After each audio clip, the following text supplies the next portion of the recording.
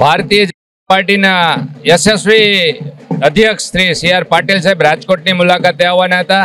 એના એક બે કાર્યક્રમ હતા અને મેં એમને આમંત્રણ આપ્યું મારી કાર્યાલયની મુલાકાત લ્યો. આમ તો ઉદ્ઘાટન પ્રસંગે જ એ પધારવાના હતા, પણ એના અન્ય કાર્યક્રમના હિસાબે આવી નહોતા શક્યા, એટલે મેં આમંત્રણ આપ્યું અને એને સહજ સ્વીકાર્યું કે હું આવીશ અને રોકાઈશ અને બધા જ કાર્યકરોને મળીશ.